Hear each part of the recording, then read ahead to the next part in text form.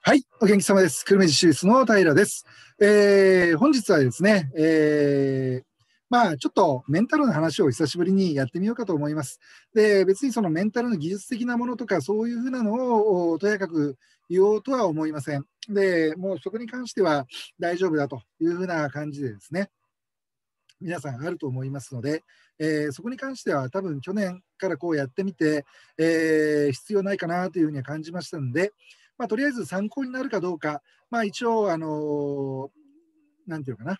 もういろいろ熊本高校だとか、佐賀西高校だとか、そういう県内でもですね、それぞれの県内でもトップレベルの高校生たちがよく聞くのが、まあ、布設高校の生徒ってどんな生徒っていうような感じでですね、聞いてくるわけですよ。で、まあまあ、結局そこに興味があるんだろうなというふうに思ったんでですね、だからその自分たちのようなその中高一貫じゃない子たちが中高一貫の生徒たちのことを気にしてもしょうがないよと比較のしようがないよっていうようなことでは話してるんですけどですね。まあ参考になるかなっていうようなところであればやっぱりその気持ちの持ち方っていうかですね、まあ、メンタルのどうかっていうようなところあって変になるかなというふうに思います。はい。ということで、まあ、今ちょっとコロナとかで大変ですよね。もう久留米市が多分日本一というか、まあ、世界で一番ぐらいにあの厳しいですね。10万人単位の、えー、おそらく東京換算でいくと3500人ぐらいになってますかね。えー、この前25日にそんぐらい70名というのが出てですね、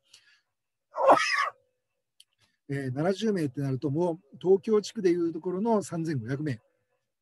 で、まあ、その26日から26、27、28、29、30、あ26から29ぐらいまでずっと2、30人ぐらいの人数で月曜日からですね、ずっとこう来てたから、ああ、大丈夫かな、どうやらあのなんとかなりそうだなと思ったら、昨日ポンとですね、30日の報告がまた70人っていうふうに出てたからですね、もうこの70人っていうのはもう本当に異常な数ですよ。人口10万人あたりに対してですね、30万人しかいない久留米市で70人ですから、ちょっと私も考えんといかんかなっていう思ってですね、うん、まあ、ちょっと今考えているところです。はい、ということで、えー、今日、今日はもう5月2日ですが、昨日ですね、5月1日に、えー、高校3年生が2人入会しました。うんどうもその5月になるの待ってたみたいですね。あの別に1日からじゃなくてもいいです。途中から入会でも、例えば5月の10日入会なら6月の9日までみたいな1ヶ月契約になっていきますんで、そんな気にしなくていいです。はい、ということで、えー、そのコロナですね、コロナがちょっと大変になってくると、親御さんたちのストレスがいろいろ溜まってきて、まあ、この背景にあるようなですね、もうダメな子ね、邪魔よとか、あんたなんか生まれてこなければよかったのにというような感じでですね、まあ子供に対してこう八つ当たりするような親御さんも出てきたりするんですよね。はい、そこはちょっと気をつけておかないといけないところで、まあ、前回のリーマンショックの時も、そのまた前の日本のバブル崩壊の時なんかでも、よくその私が面倒を見ていた、ねえー、高校生たち、親から殴られたりとか、なんとかいろいろ言ってきてました。そういう進学校とかですね、もう宮廷大とか狙っているような子たちとかでも、やっぱり家庭内では結構、まあ、すさんだりはするものではありますから、そこはちょっと気をつけてもらってですね、親御さんたちは。はい。で、えーまあ、ちょっと話入っていきますけれども、えー、まずですね、その、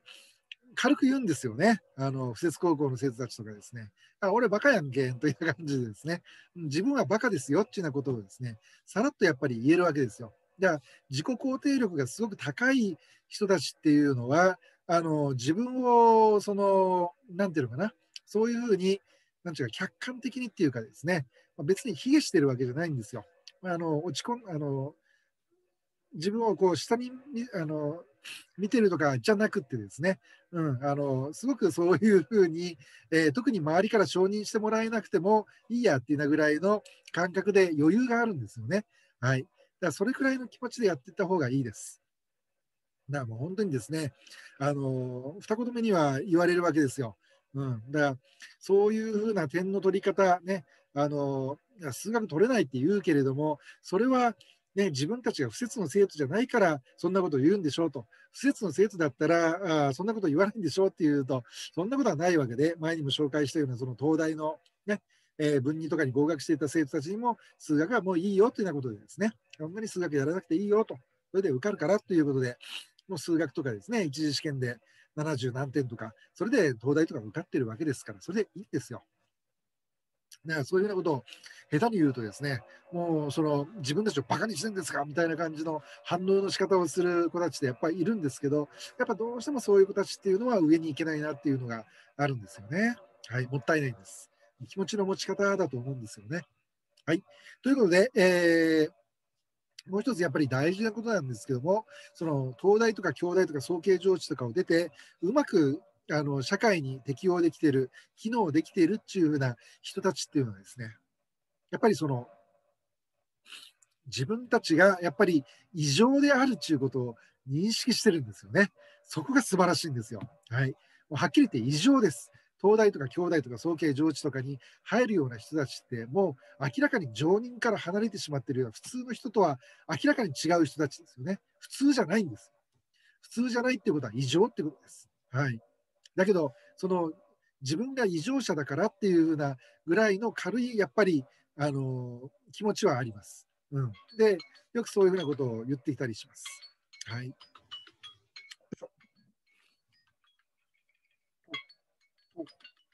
はい。ということでですね、あのやっぱり東大、京大、総計上智を卒業して、それでこううまくいってるなっていうような感じの人たちと話をすると、やっぱそういうのはペロって出てきますね。はい。だから、そういうもんなんですよっていうようなことをですね、言うところがやっぱ彼らのすごいとこだなと思いますね。だから逆に言うと、東大、京大、総計上智などを卒業して、やっぱうまくいかないなっていう人は、すごくこう、私の部下たちだったからよくわかるんですけどもすごくこう自分たちをその肯定してほしい承認欲求がすごく強いんですよね。うん、で承認欲求がめちゃめちゃ強いのとあと他人をすごく見下すっていうようなところが強いんですよね。あんなことも知らないのかバーカみたいな感じでやりだすんですよ突然。うん、だからそこら辺が非常にあ世の中に適用できてないなと。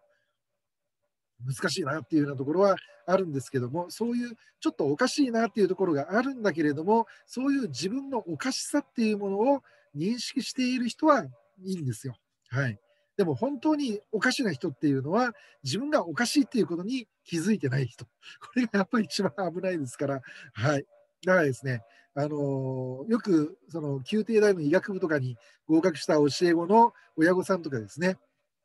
よく相談に来てたわけですよ。ね、うちの子は朝から晩まで一日中勉強しかやってませんと。うちの子は勉強しかやってないんですよと。大丈夫でしょうかと。ちょっとおかしくなっちゃったんじゃないんでしょうかと。あんなもんなんですか？その医学部を、宮廷大の医学部を受ける子っていうのはあんなもんなんですか？っていうような感じですね。私の方なんかに聞いてくるわけですよね。はい。だからもう本当に、ありゃーというような感じでですね、大丈夫かなって私なんかも思うんですけども、やっぱそれぐらい本当にあの突き抜けてるわけですよね。偏差値という言葉がありますけども、やっぱり偏差値のこっちの上の方に、端っこの方に来てる人たちっていうのは、やっぱそれだけ偏るわけですよね。はい。やっぱりその天才となんとかは紙一重というふうに言われているぐらいにですね、やっぱりちょっとどこかこう、おかしくないといかんわけですね。はい。で、えー、やっぱり、あの、一回前にもお話したと思うんですけども、まあ、あの精神疾患とかのある人たちの集まっているところにですね、そこで、あのまあ、入ったわけですよ、私が。入ってみて、やっぱ思ったのがですね、そのこう成人女性とかで、えー、すっぱだかで歩いてたりするわけですよ。で、ちょっとあの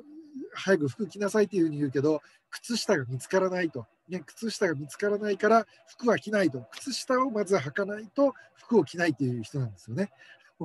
女性で、すっぱだかで歩いて回るのは、ちょっとこれまずいなっていうような感じでですね、あの私が話しかけてできないわけで、周りのそのベテランのそういうスタッフの人たちと話をしてみると、こだわりがあるんですよってなことですね。はい。ここが大事です。で、そういう東大、京大、総計上智とかに受かる人たちって何が普通の人たちと違うかっていうと、こだわりがあるんですよ。すっごく勉強に対するこだわりがあるんです。だからこそ受かるんですよ。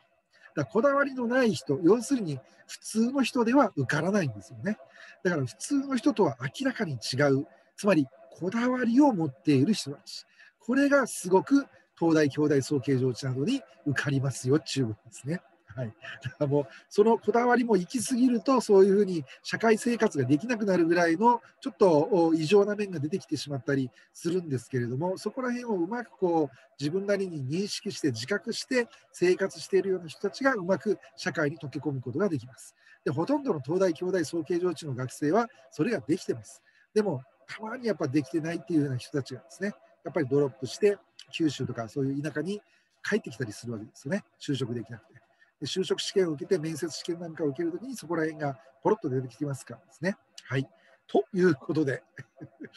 えー、まあ、何かの参考になりましたらというようなところですね。はい。まあ、まずはちょっとそれで、えー、ゴールデンウィークですから、まあ、あんまりちょっとギチギチに詰めるのもどうかと思いますので、ぼちぼちやっていこうと思います。はい。気に入っていただければチャンネル登録お願いします。下の方に私のブログ、お問い合わせシート、電話番号などありますので、よろしくお願いします。はい。というので、以上です。